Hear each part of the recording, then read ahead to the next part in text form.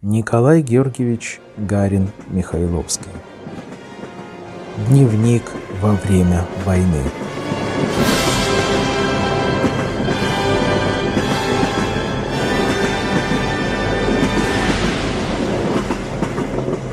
Читает Евгений Бразов-Брюшковский.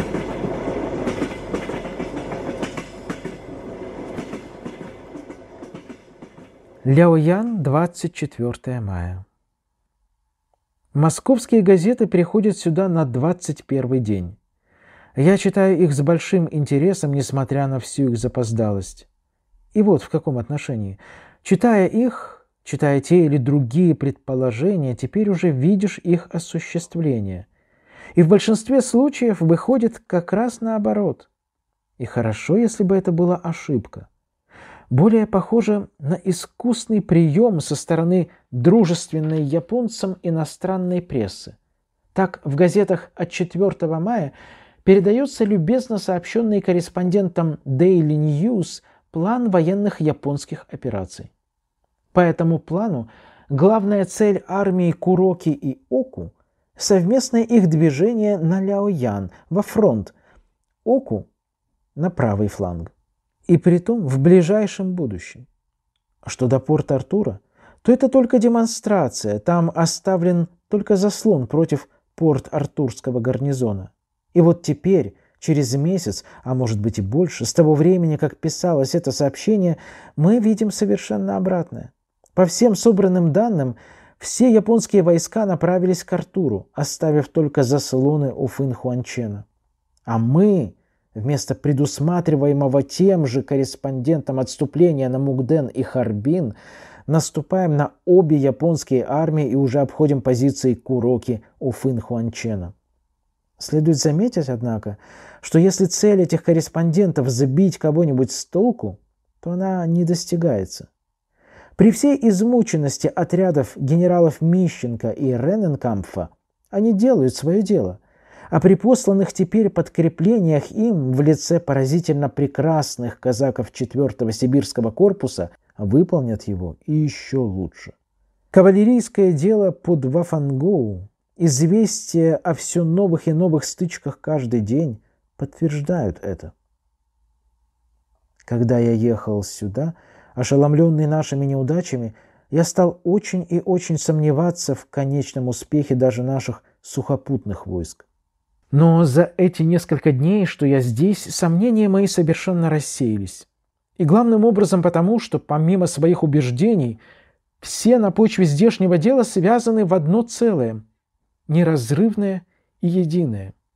Шатание мысли, сплетни – все это за пределами Ляояна. Здесь же воздух кристаллически чист от всякого «я». Спокойное – Немного даже суровая обстановка со складкой скорби, готовящихся на подвиги людей, на смертные подвиги. Подвиги, а не жонглерство. И когда люди охвачены таким настроением, их лица светятся. Я видел сегодня парад. Играла музыка, и эти лица, в полоборота обращенные к нам, в стройных рядах мелькали перед нами. Сколько беззаветности в этих взглядах, сколько упорной решимости. Они проходили и уходили в туманную даль, которая была перед нами, чтобы завтра же, быть может, также идти уже на врага. И не было сомнения, что так и пойдут они, вдохновенные, связанные в одно. Я смотрел в лицо командующего, внимательное, сосредоточенное, скорбное лицо.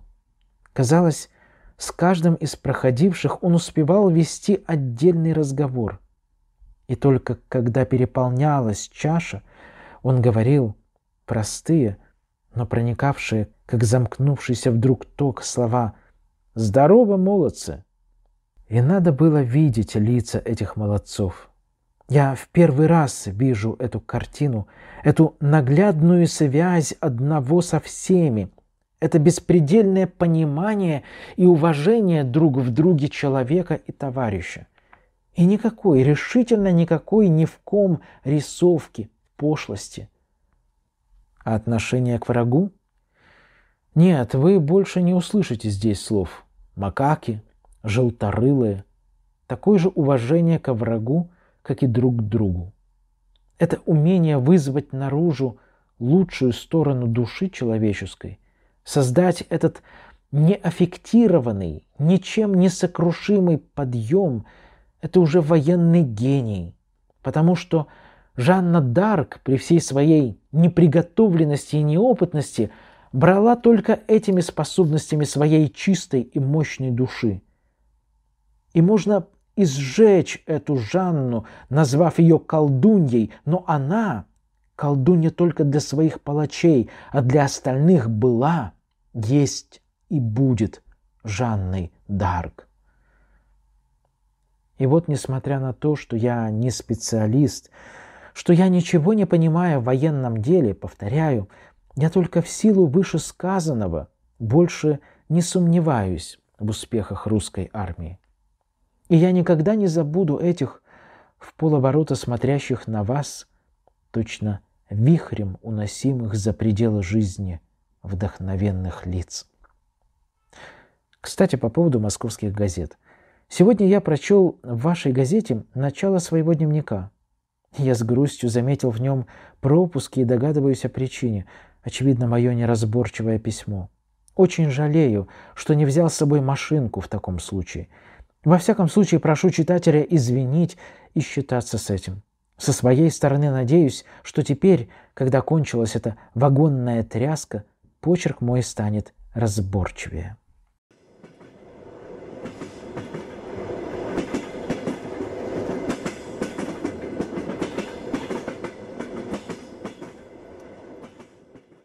Читается по изданию Николай Георгиевич Гарин.